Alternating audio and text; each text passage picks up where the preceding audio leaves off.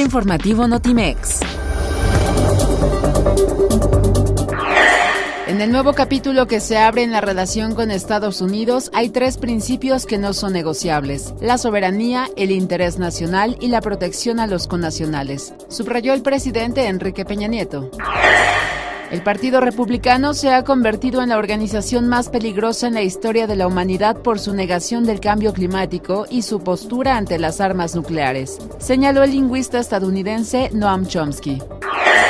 El titular de la Procuraduría Federal del Consumidor, Ernesto Nemer, aseguró que previo a la sexta edición del Buen Fin se detectaron diferencias y aumento en el precio de un mismo producto de entre 2.0 y 10%.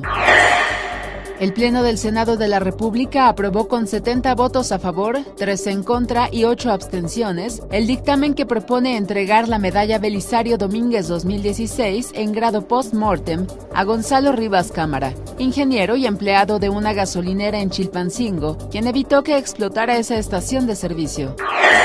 La selección mexicana de fútbol empató contra Panamá con marcador de 0 por 0 en el segundo partido del hexagonal de la eliminatoria rumbo a la Copa del Mundo Rusia 2018. Alfonso Dávila Oliveda, autor de Miguel de Cervantes, Apuntes para una biografía, señaló que el escritor de El ingenioso Hidalgo Don Quijote de la Mancha podría haber visitado México en dos ocasiones entre 1596 y 1613.